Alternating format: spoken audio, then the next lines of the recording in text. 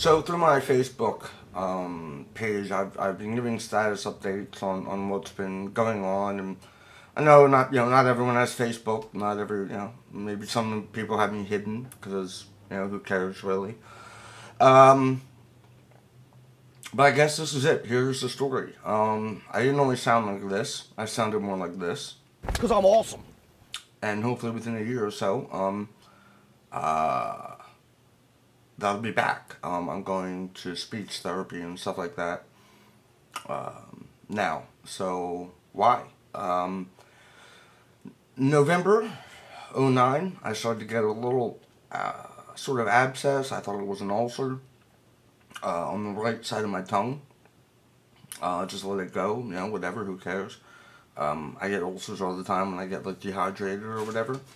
So um, I let it go and uh, got a little bigger and it started to hurt a little more. Um, then January, I knew like it, it, had really sort of changed um, the shape that it was. It wasn't this tiny little thing anymore. It got a little bigger, but whatever. I still didn't do anything about it. Um, then in, I guess it was the beginning of February, I was like, okay, this isn't going away. It constantly hurts. Um, I'm going to show you some pictures. Um, they're kind of gross, so um, if you don't want to see it, look away for a minute or two, second or two. Uh, anyway, in February, uh, got a little bigger. Um, like I said, it was a, I guess I, I kept, kept comparing it to a jujube. Then the center started to spread a little bit. I went to the doctor. I went to my primary physician, and he was like, I think you just bit it and it got infected. Here's some antibiotics. So I took the antibiotics, went back in two weeks, and um, it, it, was not looking any better.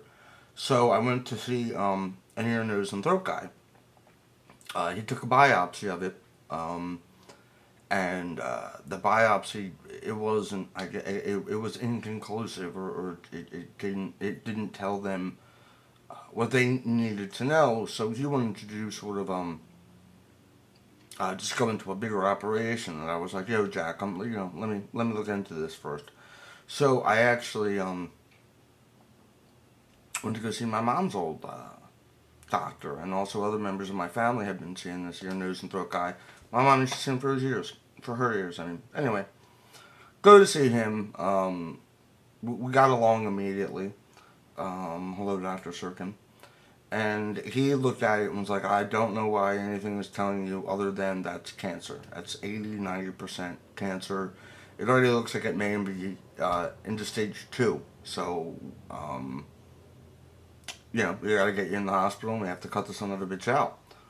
So, um, he did a bigger biopsy just to, just to be safe, um, and it came back exactly as he said. So on May 21st, um, I went into uh, Delaware County Community Hospital. They took out about uh, took about a third of my tongue. Um, to be fair to Dr. Sirkin, he saved a little more than 65% of my tongue. That sounds much nicer. Um, this is it. Uh, outside looks normal, but uh, and whatever. It's not that fucked up, but it still sounds wacky. Here they um, yeah, right. This scar is from uh, they took out some lymph nodes. Oh, this is from the trach. I had a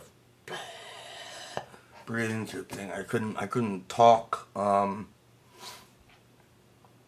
uh, I thought it was three or four days. I, I can't remember, but uh, yeah, yeah, I was in the ICU for three days with that thing. It was it was creepy. It it's creepy, but um, it wasn't that bad. Whatever. Uh, anyway, the scar is from the um, they took out some lymph nodes. Now they found two. One was fine. One had cancer in it the kind of cancer it had in it, I guess, had uh, has legs. um, uh, roots or whatever you want to call it, tentacles, and it started to dig in to, to the area that it was sitting. Um, the response to this, uh, from what I'm being told by your nose, and throat, um, uh, my oncologist, my and my radiation oncologist, yeah, is um, radiation is the way to go. They want to, you know, zap my face with some radiation, uh,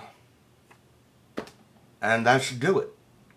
Um, unfortunately, I don't have health insurance. I forgot to say that in the beginning. Um, I've been paying for all this out of pocket, and it is about the, the price of um, a nice, new, brand new car.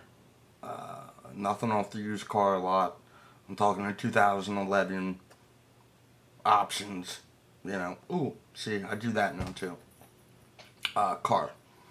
Uh, which I, I don't have. I don't have the resources to come up with, um, even when they want to start the treatment. So I don't know what I'm going to do. I have some options. Um, uh, I'm, I'm going to another place uh, today. I'll talk about it in another um, another vlog about uh, what that turns up, but about maybe some uh, alternative um, ways to maybe get past to get past this. So I I, I feel like I get, I feel like that's all the information uh, to give so far. Um, what this vlog is going to continue to be is about treatment and what's going on. Um, ultimately, uh, you know, if I do go into it, it starts um, uh, they want to start the 26th of this month of July. Um, so what hap- what will happen is you know this this blog isn't going to be about you know uh, films and you know upcoming projects, shorts, any that kind of stuff. It's only for uh, this cancer bullshit. Um, it may, um, like I said, when, once the treatment starts, I'm going to check in once a day. This is what happened today. That you know, um, it'll be more like I guess uh, David Lynch's um, weather updates. Just a quick check in. You know, this is what it's you know doing, or this you know, hey, look what the medicine is doing, or whatever. You know, just like I said, general check in. And then um, who knows? We'll see what happens after that. So uh, that's that. Thanks for watching this. And, uh, you know, thanks for all the well wishes that have been coming through. I really appreciate it. I didn't realize when I talk a lot, I get a little pool of spit. That's new, and it disgusts me. Anyway, um, that's that. Thanks for checking in. Thank you for sticking by me and uh, and continuing to do so. I really appreciate it. It means a lot to know um, that there are real people out there. It's not just cyber faces and and stuff like that anymore. So, um, thank you guys, and I will uh, talk to you soon. I don't have a catchy outro phrase like I used to. What did the puppet used to say? Fare thee well? Fare ye well?